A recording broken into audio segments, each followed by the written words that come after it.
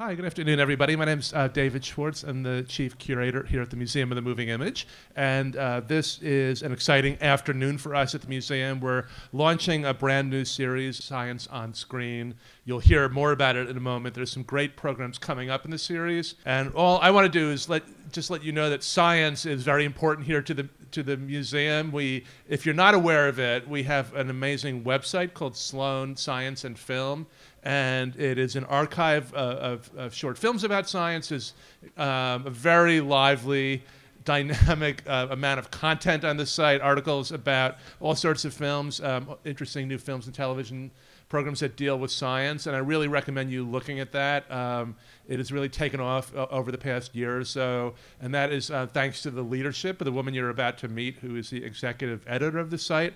Um, she does um, an, an, incredible job with the site, and she's also organized this series. Um, but please do sign up and make sure to look regularly at the site. There's great new material going on uh, on it every every week. So, um, so you're really in for a treat this afternoon. We hope to see you back um, for the rest of the series. So without further ado, please welcome Sonia Epstein, who's the executive editor of Sloan Science and Film.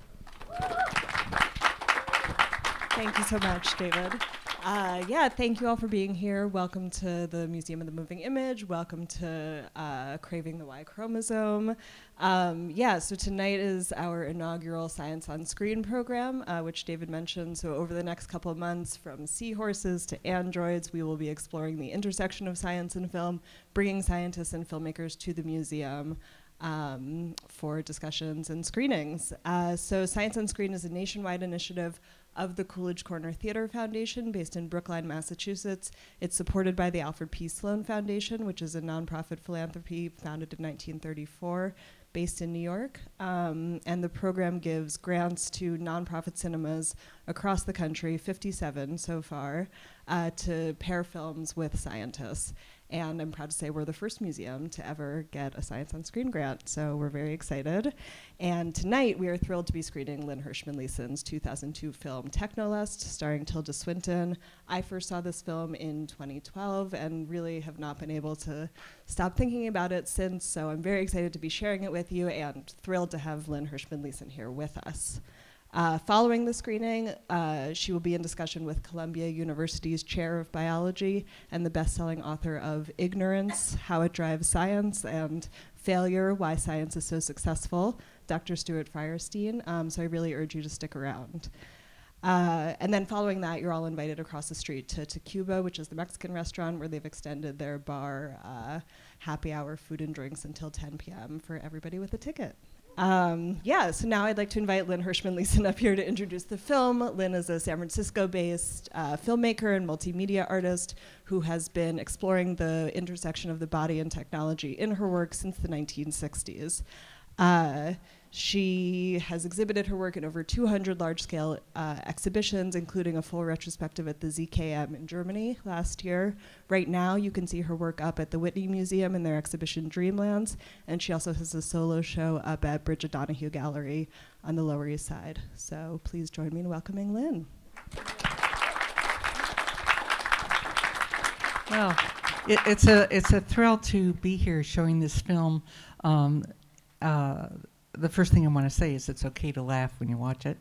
Um, it's the first 24 frame high definition film that was made. We were making it while George uh, Lucas was doing Star Wars, but we finished it first. And the lab, the, the lab thought it looked better than him, than his work. He said, they said, "What do you have that George Lucas doesn't have?" And we said, "Personal debt," which is. so, but um, I'm really pleased that it's continuing to show. Uh, throughout the decade. Much of the much of the uh, script was derived with interviews I did with scientists. Um, so I never thought of this as science fiction. Um, I thought it was science sci true uh, that we're just growing into now. But I guess we'll talk about that later. So thank you again for having me.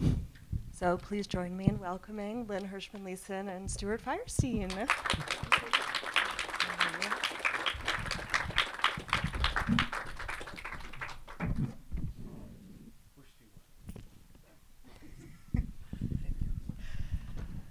Okay. Um, so that was fabulous.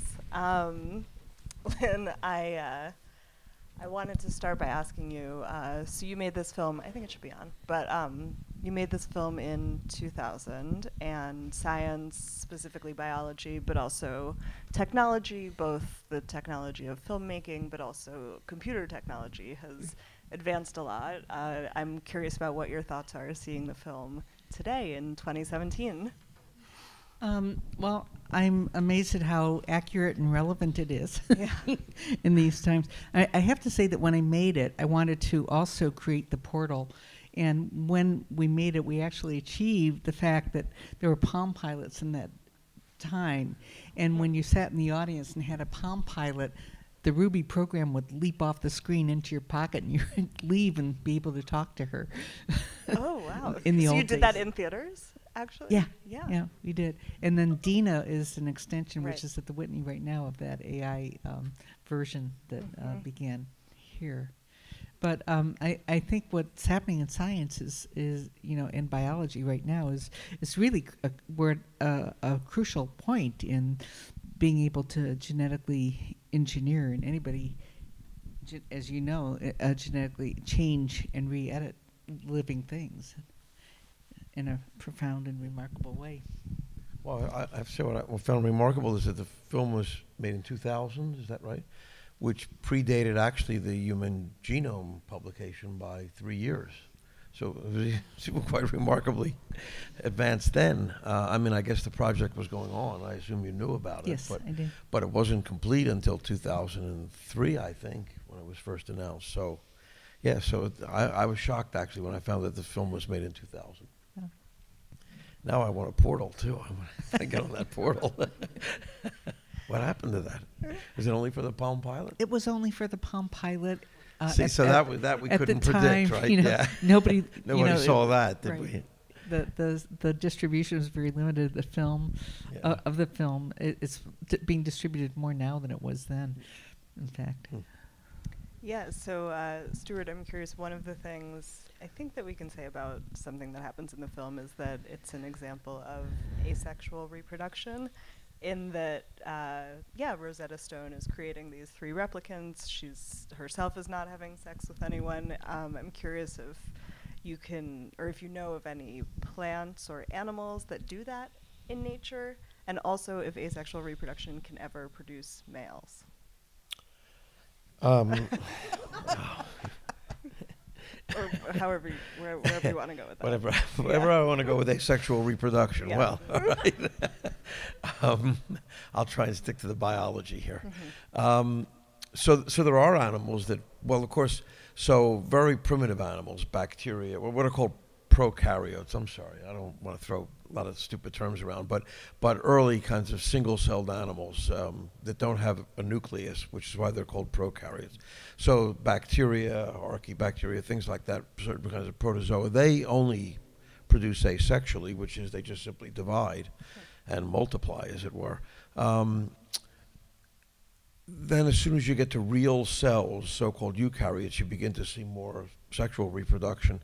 And, and it's still, I think, a pretty open question in evolutionary theory as to why one, one exists versus the other.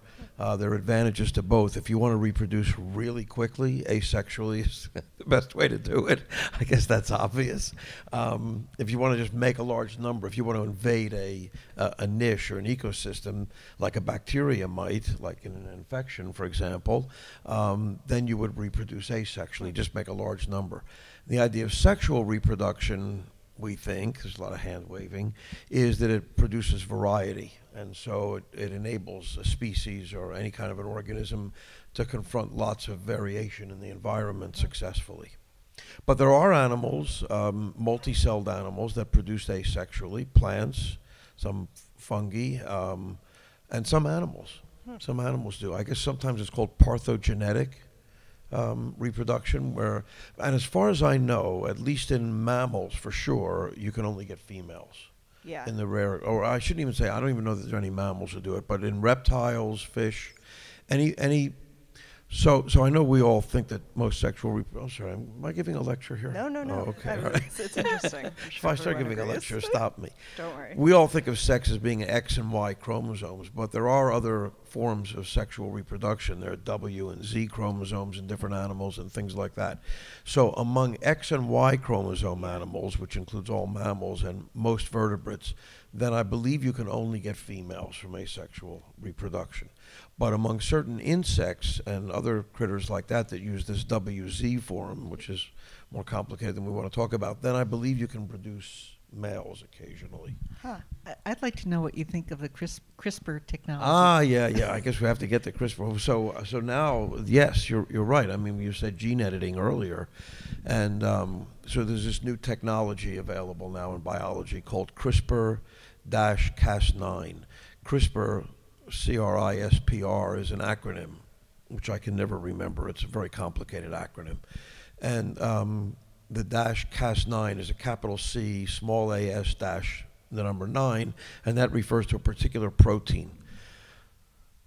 So this technology, this CRISPR-Cas9, which you may have seen in the paper or heard talk about or whatever, is a new form, a new mechanism for editing genomes. It's extremely accurate and although very hard to understand how it works, it's a very complicated mechanism. It's actually trivial to do.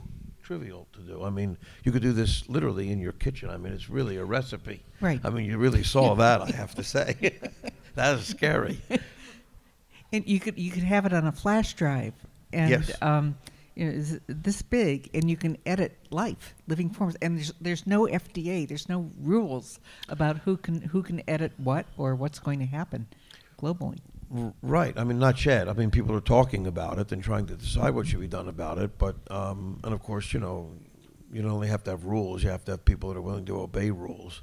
So that doesn't always happen. In this case, it would be extremely difficult to enforce rules because it's so easy to do. Um, and so there's, there's a lot of worry about it, but there's also tremendous um, optimism about it because it will allow us to do things that just were unimaginable or were a kind of a film not quite fantasy, but you know what I mean, uh, uh, uh, um, nonfiction kind of a fictional film.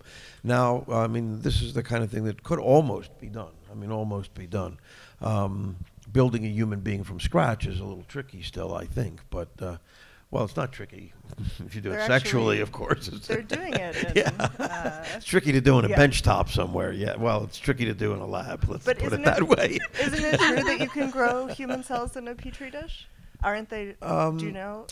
Uh, that's a good question. I mean, I mean, you can grow human I- cells in a petri sorry. dish. I'm not sure you can make them. You mean make a human Do cell? you know why they don't put human human uh, cells? Uh, that they don't use human cells in these transgenics anymore. No. In which transgenics? In, in uh, in, in putting life, human life, into oh, into um, other creatures. because it's a violation of the Thirteenth Amendment, which is slavery. Really? Yeah, and that if you own a, a, a, a cell from a human, you own that human. Therefore, so that was the Huh. Supreme Court decision But- because they had been doing it to start with, and then it was stopped here. But they just allowed it to be done in England. They, Right. There, I just saw. I didn't read the paper, but I saw this paper about growing. I mean, there's always this issue of trying to grow human organs in other animals, Sure. right? So that's human cells. Um, so I don't know where that fits in with that. Where how does that fit in with that? I mean, you can do that, right? Or at least people are trying to do it. I think. I, I think with bioprinting for organs, it's different than Uh-huh. actually putting you Putting know, a cell in cre- that can replicate and all the rest of that kind of thing. That could Yeah, be. That could yeah. be. I'm actually unaware of that. So I'm Lynn, I, over that. y- yeah, I want to ask you. So in the uh, in the film, Tilda is plays these uh, three self-replicating automatons, and since we're speaking about uh, you know genetics and how uh, how did that concept emerge? Like, is there anyone for you? Is there anyone who you talk to in particular, or I uh, just research I, you did? Yeah. yeah I, I read a lot Yeah. and uh, yeah obviously at the time and I'm uh, getting ready to do another one soon I've been talking to people for the last three years about this in fact I'm going to CRISPR George Church's lab in Oh, yeah. in uh, at Harvard in a couple weeks um, so yeah I mean but it's in the air I mean you don't really have to look far No. to literally to get in the air. information I'm about afraid. this. Yeah. Yes. No. I mean, it's it's all out there. I mean, I would say you know there's a there's a Nobel Prize afoot in this. There's a huge patent battle going on. um, over it between three laboratories at Berkeley and at Harvard, and now in Germany at another laboratory there. Um, and there are different players in it as well who are all, you know, it's the whole patent thing and all that. Because, well, because it clearly will be worth billions and billions of dollars as a technology. Um, I, I just like to make a quick pitch here. This is, I'm sorry, unrelated to the movie, but I'm just going to make a quick pitch for the fact, well, not entirely unrelated, quick pitch for the fact that the, the two people who made the initial discovery, two women, uh, Jennifer Doudna, who's at UC Berkeley, and Emmanuelle Charpentier, who's now at the Max Planck, and George Church and, and um, forget his first name, Zhang. What's his first name? I can't think of his first name. Um, first used it in human cells, or showed it could be used in human cells. But Doudna and Charpentier were slugging away in the trenches for years and years doing what we call sort of fundamental or non-applied research, just curiosity-driven research. And what they were trying to understand was the immune system of bacteria. That may sound pretty archaic and it's arcane, sorry, and and it is. But bacteria are attacked by specific viruses that only attack a certain kind of bacteria. They don't get to us or any other critter. They just are interested in bacteria. But bacteria, unlike us, don't have an immune system, so they have no way of protecting them from these viruses. So they use a variety of genetic tricks to chop the virus up, to chop the viral DNA up before it can take over the bacteria's DNA and kill it and use it to replicate. And CRISPR was a technique that bacteria developed for this, and it took over 30 years of really difficult research, not well-funded research, by the way, um, because nobody could understand what value this would be for anything. It was just an interesting thing to know about. Um, but but Doudna and Charpentier discovered this, and then with the discovery of this Cas9 protein, then immediately became obvious that this was a gene editing technique, that you could apply this to gene editing. You know what I'm re- really interested too. I did an interview with somebody at uh, at Oxford about six months ago, and he was talking about epigenetics and how you can um, alter if if some if trauma trauma travels genetically through your DNA, and they could locate it now and operate on an embryo prior to birth. He said to correct something before that that child is born, so that they won't have to spend a life correcting it with Yes, but- chemicals. But, but you mean um, um, operating on, you mean operating on their genes? Yes. Not, not cutting them open, Right, right, right, or right, anything right, like right. that, Right. right. Yes, no, that's exactly what you could do. You could now find that, spe- assuming you knew the gene that was causing this, which Mm-hmm. we sometimes do and sometimes don't. But if you know the gene, I mean, a perfect example even would be cystic fibrosis. Cystic fibrosis is caused, 70% of the cases of cystic fibrosis are caused by a single mutation in a single DNA base pair in a molecule that makes a protein that's 6,000, uh, 2,000 um, amino acids long. So it's 6,000 base pairs, and one of them, one of them is mutated, and that causes 70% of the cases of cystic fibrosis. That could be trivially corrected by using CRISPR in an embryo which had been tested for this gene. And if you saw it had two copies of this bad gene, you could correct, all you had to do was correct one copy, in fact, and there would be no more cystic fibrosis. So, Yeah. yeah, That's so that's good- the power, that's that's the the good good side of it, right. Right, now what other things you could do, as, you know, Well, like everything. I mean. yes, yes, it's golem-like, you know, I mean, it's, there's always the golem in the room, as it were. Well, so um, It's a great line. so uh, in the ZKM's catalog of your work, Lynn, uh, called Civic Radar, Tilda Swinton wrote you a letter, um, and she said to you that uh, in your work you never ask what if, only why not. Um, That's very and nice. I think that uh, you know you're you're dealing in these realms like morally ambiguous realms. I think of science as um, we're talking about, and uh, I just wonder, you know, would you say anything to her? Do you agree with that? Like, is is that how you see your work? or- Yeah, I, I think if you have an idea, you're almost obligated to carry it through and to, to think of ways that it could be uh, used as a creative force for preservation, uh, for creative preservation, you know, in the world. So, uh, and that's part of the fun of it is is not not having the limitations of the of the of rules that that have been imposed for some other reason that doesn't apply to you or to what's going on right now. So it's really keeping in the present.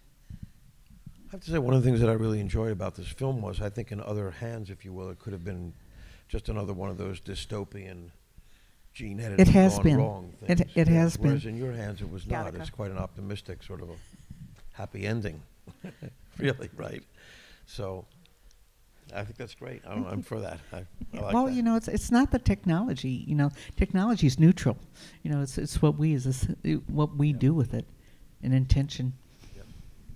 Yeah, so um, I'm curious, and other people might be too, uh, in that Tilda is playing these four different roles. And uh, do you know if she did any particular preparation for any of them? Did you give her any, uh, you know, specific direction? I'm sure you did that you can remember. Um, she Yeah. was really interested in in who was born first, and and the personalities that they would have in that way. Uh-huh. But in general, I mean, she's so smart, she's much smarter than I am, and uh, and carried things to levels that I I couldn't have dreamed of. So. Mhm. You know, you just get the best people you can and set them loose. yeah, and you've worked with her before on Yes. many projects. Yeah. So is this? Uh, so I, I read. I think you referenced this earlier, but that this film uh, is supposed to be the second in a trilogy. Yeah, I'm trying to do the So trilogy third. at some points. So can you say what the third might be, or Do I what? do you do you know what the third? Yeah, You do. I do. Could you tell us, please? Uh, it, it's about two uh, two sisters who operate a lab together, and they create a, a, a creature using CRISPR technology that uh, where they they uh, use a dolphin um, uh, cell so that they would that the child would have increased uh, perception of the sound of the world and could uh, be able to have auditory possibilities of of uh, seeing when the planet's in danger. But then the, the child becomes a adolescent and thinks that how dolphins are when they're adolescents. Yeah. I have somebody for you to talk to, actually. oh good My wife is sitting in the audience. She works with dolphins. oh great great Studies their acoustics, in fact. yeah, Diana So- Reiss. Everyone should look up her work. cool Um, yeah. So. Uh, Dolphins and CRISPR, that's really got to be done. yeah so i mean given given that art has this uh, possibility of um, you know sort of giving us another view onto the culture and the climate that we're living in do you see your films like making any specific interventions into like how we think as a culture i mean is that does that um, I think that they open up different kinds of possibility. You know, particularly certainly the last uh, three documentaries. You know, Women Art Revolution, um, Strange Culture. Uh, enabled somebody to be freed from a prison sen- potential prison sentence. Women Art Revolution uh, inserted a previously eradicated history um, in, into culture. The uh, film I just finished, that's going to premiere in two weeks, you know, is is is about PTSD and trauma, um, and uh, h- how you convert the the uh, psychology of that into a positive creative fo- force for uh, reversed um, uh, thinking. And I, I think all of these ideas come out in the world, and and people take what they can, what what take things from them, and adapt them uh, in in some form, just putting them into the world. Can I ask her a question? yeah of course Oh, okay. So, so, so, so where did this uh, interest in science begin? Um, everybody in my family is are, are scientists, but me. I'm, I'm the black Congratulations. sheep. I'm the black sheep. no, no. no. My daughter's at Columbia oh, is she really? Yeah. Oh, uh, in science. in science. Wow. All right, we'll talk about that. Okay. My mother's a biologist. So- really? Yeah. Huh. so did you ever think you wanted to be a scientist I had no choice. I mean, I majored in biology, in fact, but I was always doing art things.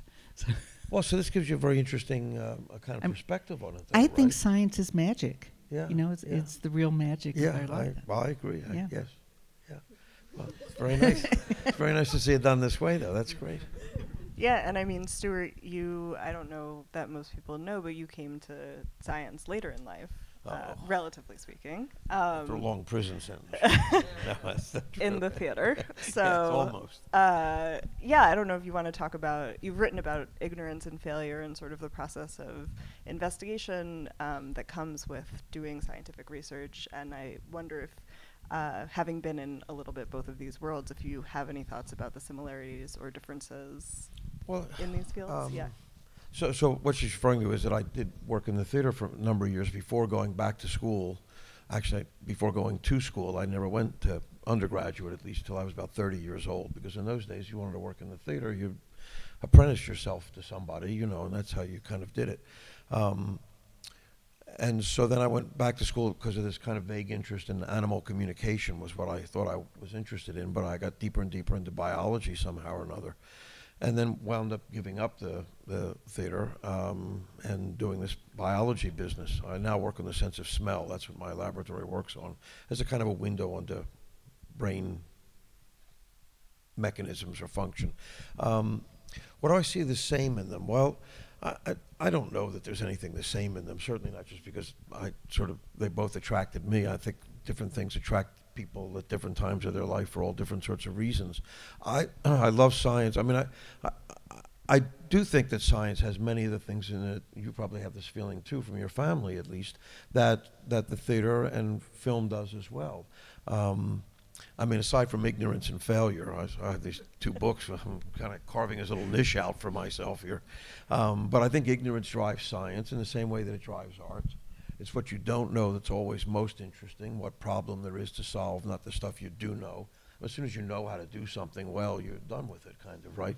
And then the other thing is this willingness to fail, not in this kind of way of, oh, failure, you know, is good for your character or something like that, but really failing, uh, uh, understanding that failure is, is embedded in the process. It's, it's woven deeply into the process. And that if there isn't sufficient failure, then nothing will. It doesn't matter. The failure is not good because retrospectively it became successful or eventually it led to success. It's just good on it. I think Gertrude Stein said uh, real failure um, needs no excuse. It's an end in itself. And, and I think that's correct. I think you never know with Gertrude Stein. I guess really do you, but but I think that's correct. So and I so in that sense, I think they're very they're very similar. Also, that science works mostly with failure, and I think uh, I'm sure you would say your process is mostly about failure, right? Totally. Yeah, there you go. See? So I think and then in you that then you wait and you find out that they're not. Right, right. And then finally, Like this film. mm-hmm. Yeah. People hated this film Yeah, when it is came that out. right? I couldn't I couldn't get it distributed at all. well, It- I'm trying to think back to 2000. I could maybe see that. 2000, yeah. they said it would be a minor footnote in um, in in the feminist sci-fi world. Well, The there New York go. Times did. to them. Oh well, they but you know the New York Times is you know about them now, so the truth is out with the New York Times.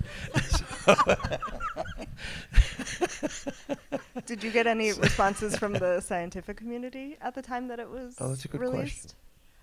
Um, nobody liked the film Yeah. at all. How about your mother? me Did and your mother Tilda. like the film? me and Tilda liked it. Tilda, that's Yeah. a good crowd. I mean, we we giggled our, our way through it, but and, and she always shows it at her retrospectives, but yeah. not very many other people. But but it's growing. It's growing hmm. with your generation, in fact. So yeah, why do you think that is? because they get it. Yeah, something. Thank goodness for the millennials. yeah. Yeah, somebody's got to take over soon. Yeah, I actually thought um, that one of the I love the the part in the film where uh, Sandy is uh, conducting in the uh, Xerox lab, and you once wrote a piece about um, for Science and Film actually about how you first came to work with technology. Um, like how you know your first interactions with technology in your work, and I think you said that it became it began with a Xerox machine. yeah, yeah. I wonder if you could, yeah. talk I, I was, uh, you know, maybe 15 years old, and I was trying to reproduce a photograph, and it got stuck in a Xerox machine, and it was so much better than the drawing. I really liked, you know, it was, it was ripped up and and uh, crinkled, the- like like the the, image line up thing, there. yeah, yeah, yeah. yeah. And I realized, you know, that it was a symbiotic thing that. Uh, that that, uh, that maybe the Xerox machine had a had its own mind and was correcting what I had done.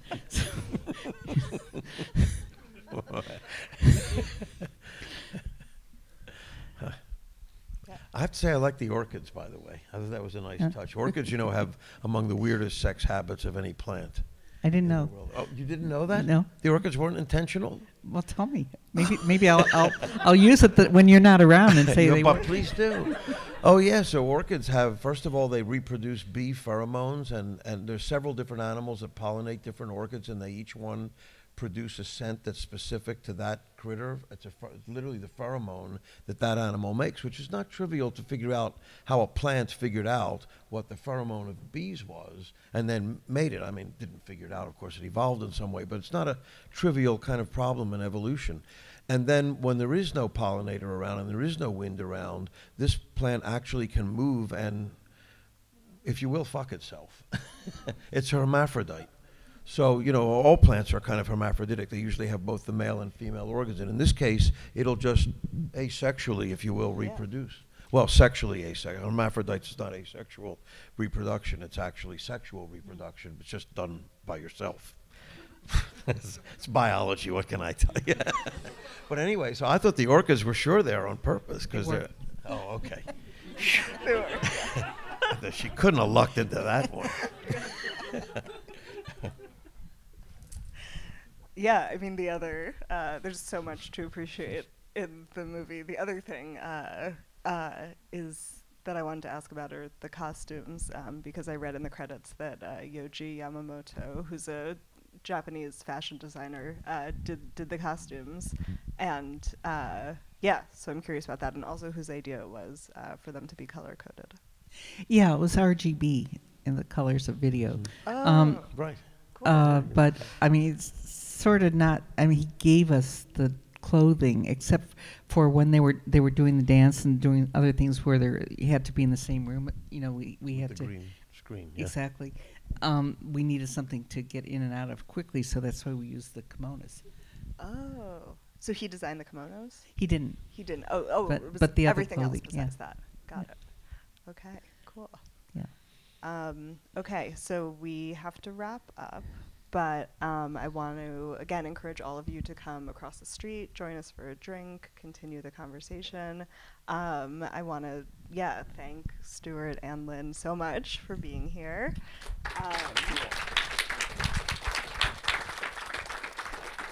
And I would encourage your all, you all, if you're interested, uh, to please come to the next Science on Screen program. It's going to be on March 26th, uh, and we are going to be showing a series of shorts by Isabella Rossellini, Roberto Rossellini, and Jean Painlevé about the uh, sex lives of sea creatures. So the fun continues. So yeah, thank you guys. Thank you all.